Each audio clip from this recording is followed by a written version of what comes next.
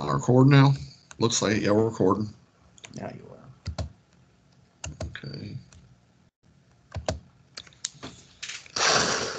All right, I'm Coach Shields. Welcome to Learning Strategies. Uh, high school learning strategies, of course, we work on organizational time management skills in order to improve grades across all subject matters.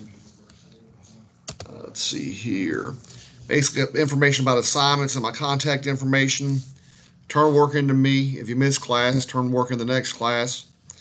Uh, turn work into me. Don't put it on my desk. I'll never find it. Uh, if you need to get a hold of me, uh, 904 266 1200, that's the school.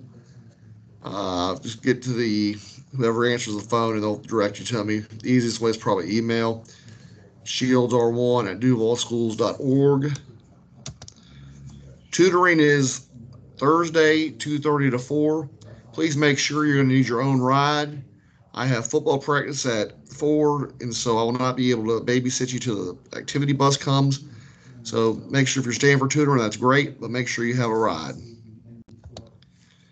Grading, pretty simple, points based. All assignments worth five points. Quizzes and tests were 20 points. I'll update grades every day, every Monday, usually every day, but Monday at the latest. Uh, late assignments and recycle them. Classwork and homework may be turned in late. A grade deduction may be given for late work most of the time, as long as you turn it in with a reasonable amount of time. I say two or three days late, I don't penalize you.